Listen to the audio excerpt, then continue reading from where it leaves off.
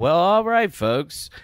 How's it going, fellow Rust players? We got another video for you today where we work on the Tier 2 auto smelting system, which is basically just an expansion of a Tier 1 system, only with parts that you can build on a workbench. Yeah. And with the tier 2 workbench, it's going to be basically much better of a system, but the same rules still apply to the last video.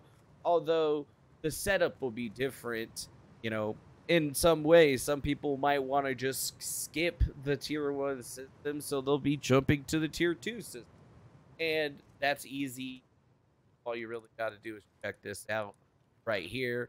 And you won't need too many different things. Obviously, it's tier two because you're going to be utilizing the electric smelters. You're going to want at least a medium battery. You're going to need probably three solar panels, maybe four. You're going to want at least two to three root combiners. You're going to need a branch and a splitter, and obviously a wire tool and a pipe tool and a large box. So let's get this set up really quick. And it's a super easy setup. We'll start off with the actual electric furnaces. Important part because putting this in your base, you're going to want to know overall where you could place stuff. So real quick, you put these adapters on the front. I believe you can also put them on the sides, right? You see right there. So you have two options where you can put it. So if you're trying to hide this in your honeycomb or whatever, you're going to want to get these set up with this first. So keep that in mind. Out, other than that, we're working with three for the simple reason that we're using splitters and only get three to a splitter. Other than that, if you're going to want to add another three more, you're just going to need one more branch and one more splitter.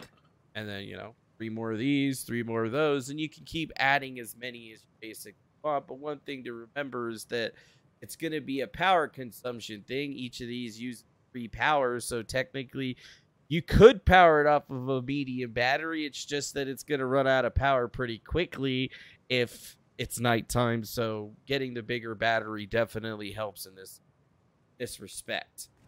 So once we got that down, let's just go ahead and throw the big battery down again. You doesn't need set up all crazy or anything. You just need to get the battery down and then throw some panels. And with these, we're just going to put them obviously facing sun. You know, some people switch it up so you got two going one way, one going the other way. It's whatever you feel is necessary. And then obviously probably want to hide the miners area.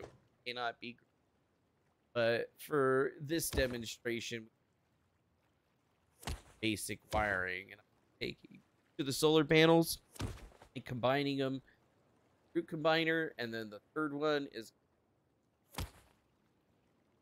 this might be other people consider to be scuffed setup, but if it works and you're trying to get it done as quick as possible, this should be at least figure out how you're going. After that, we'll go ahead and power that bad boy. Then we can set up the branch and branch down, splitter down, power into branch, and we're branch out for every for all of our power needs. And you know what? We forgot to put a conveyor make that. So first off, you know, it says 47 power out. We're just going to put all that power to splitter, and then we're to wire each. Notice that you actually have access. Wire them up. That's actually kind of nice. You know, top one. It'll tell you which one it's supposed to be. Then, got that down. We'll just go ahead and put a box out again. throw up storage adapter on it, and we our conveyor on the this branch. I'm going to take the branch out power and run it. Guy. On. Start working. be able to just leave them on forever as long as you got power. I don't gonna run out of power, but from there we're just gonna go from the storage adapter out. Gonna run that into put on the conveyor, and then we're gonna run the output through all the rest of the conveyors. Chain them together. Fancy, nothing done in order to get it to work. It'll work exactly the same way as the other system. At least this time, you're not going to need any and borrow some of this here and throw this box and rather quickly that it's just going to start moving stuff on its own and getting everything now one thing oh make sure you turn it on and once you got it turned on is basically going to start rolling baby and you ain't got to do nothing. And this is probably the most efficient way to have it. You really don't need a lot. Like, even for a single person, three furnaces is probably going to be plenty fast for you, all the way up to even bigger groups. Like, I mean, normally I don't see more than nine of these things slapped down to usually get all of the stuff that you need. So, like, you can take this particular setup and expand it as you want. You know, literally, you throw down three more of these guys. You're to add one, and then you're just going to disconnect it from right here. Take it to the next branch, and then split off the power. and Just keep going. No, it's not too difficult. And as you see with it, it runs a lot faster.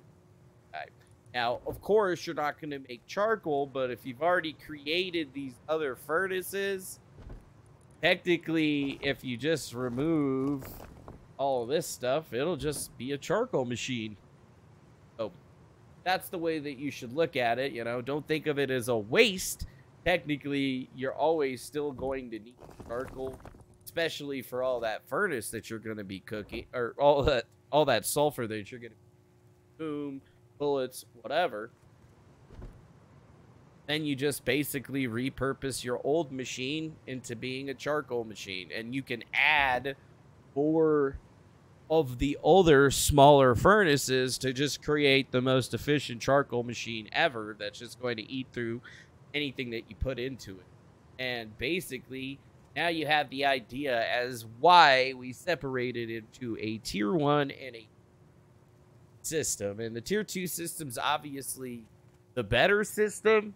You just want to realize that, you know, hey, you can even run all of these together with just one unit, right? Like if I take this output right here, I disconnect it, and then I run it all the way over here.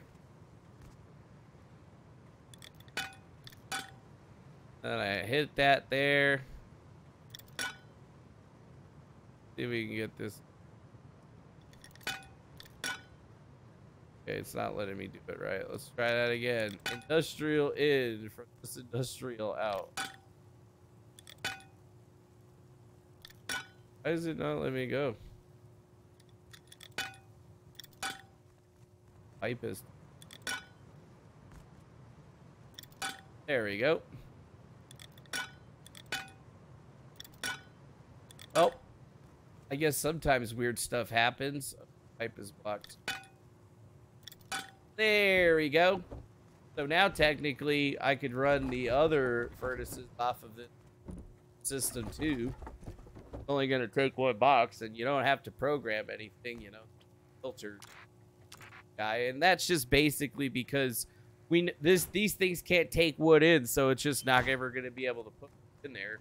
But it'll continuously keep filling up the wood in these boxes and it'll still even cook stuff with them. So it's not like you're going to lose too much. You don't even have to really set anything extra up here other than the extra power requirement. And hopefully that gives you a better idea of what to do when looking to actually utilize pretty much the best circuit in Rust. And it's super simple. Doesn't have to, you don't have to automate your whole base for this to work, although you can just in, integrate this into any sorting system at any point in the line whether it's at the end, in the beginning, or you're just branching it off one box. And literally, you know, this will still fit in your standard 2x2 pretty easily. So, thank you for watching the video. Make sure you hit the like button and subscribe if you enjoy the content like this. And see us again on the next one. We're going to be setting up a lot more circuits moving forward that you can utilize in your day to day on Rust. Have a good one.